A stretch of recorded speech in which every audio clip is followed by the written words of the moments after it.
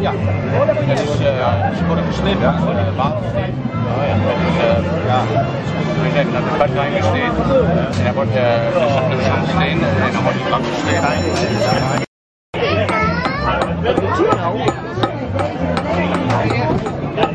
Maar dat is een maalsteen. De malen ze in de molen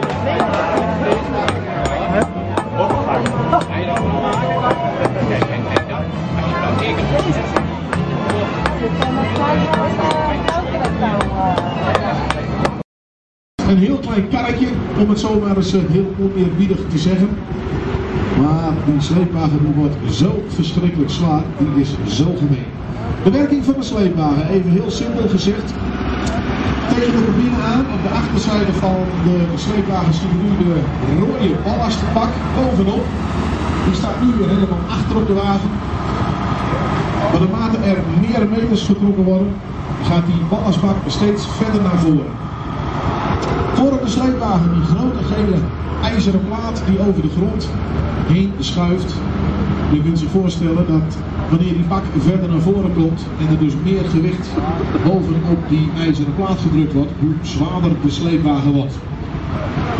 Niet alleen de ballastbak maakt de sleepwagen zwaarder. Onder die gele sleepvoet hebben we nog allemaal pennen die hydraulisch aangedreven worden en die op bepaalde types de grond in kunnen gaan.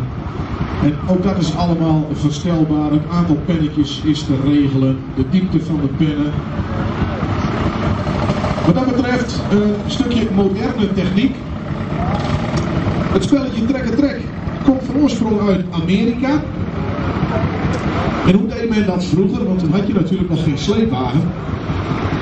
Vroeger had men een hele grote houten plaat achter de trekker op de grond. En om de 2 meter of om de 3 meter sprongen weer een man, een vrouw, sprongen weer bij op op de plaats. En zo werd het vroeger, het spelletje, gedaan. En dat was dan eigenlijk al de moderne versie, want daarvoor hadden ze gewoon hele grote keien, stenen, die men ging proberen voor te bewegen. Maar natuurlijk, de boeren die hadden ook wel uh, wat meer verstand van de techniek gekregen en dus gingen de trekkers, ja, daar werd een beetje aan geprutst, gekieteld. Oftewel, dat werd allemaal een beetje opgevoerd en het uh, op de plaats brengen van de mensen, dat ging toch regelmatig mis. Dat er toch mensen vanaf vielen en dat werd dus toch wel een heel klein beetje gevaarlijk. En dus ontstond in de jaren 60 de eerste sleepwagen in Amerika. En dat is eigenlijk een beetje nog steeds het vergelijkbare met wat we tegenwoordig nog hebben. Het idee is gewoon nog hetzelfde. Een sleepvoet voor op de grond met een ballastbak die naar voren komt en dus steeds zwaarder.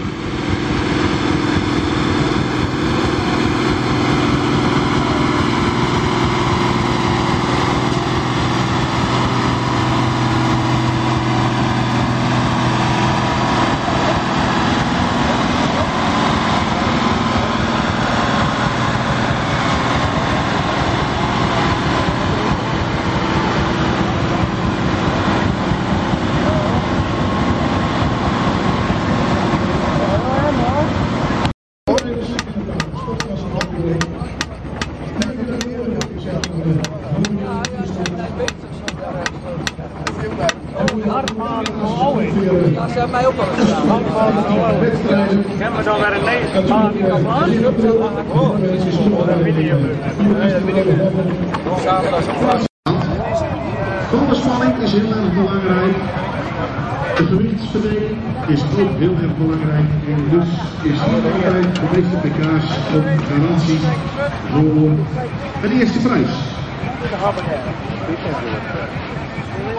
Een trekker die we wel eens vaker voorbij zien komen.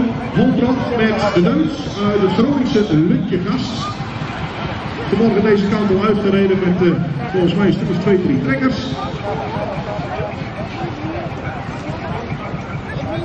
En Holbrand die weet dus wel hoe het spelletje werkt wat dat betreft. Normaal gesproken bij de wedstrijden zijn er natuurlijk ook reglementen. Zijn er te veel om op te noemen, maar de veiligheidsregels Dat is misschien nog wel even uh, interessant. Normaal gesproken moeten de trekkers voorzien zijn van een zogenaamde stijgerbegrenzer. Dat betekent dat een trekker niet uh, achterover kan kantelen. Uh, normaal gesproken moet een trekker ook voorzien zijn van een uh, rolbeugel of een cabine. Dat zien bij deze deus ook niet. Zo werd deze trekker natuurlijk vroeger ook nog gemaakt. En vandaag doen we daar niet zo moeilijk over.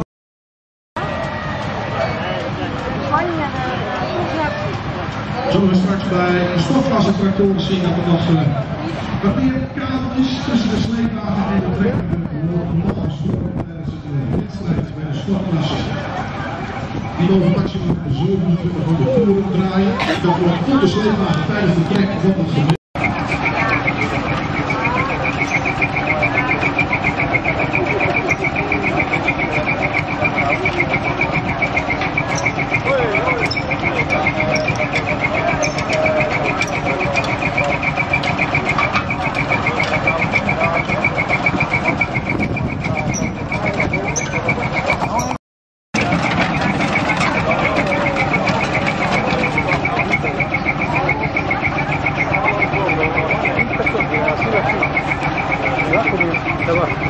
Solo comico.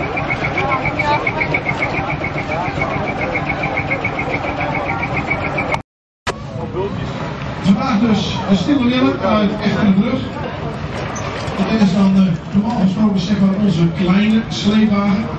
We hebben er nog een uh, grote broer daarvan. Die komt uit de Kniepen, van de firma Brenkhoff. Nou, die sleepwagen die uh, staat ongemoed in de winterslaap. Die mannen hebben een week of twee terug hun